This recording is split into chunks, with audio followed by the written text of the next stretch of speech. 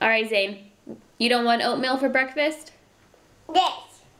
Veggie. You want, what do you want to go with your oatmeal? No.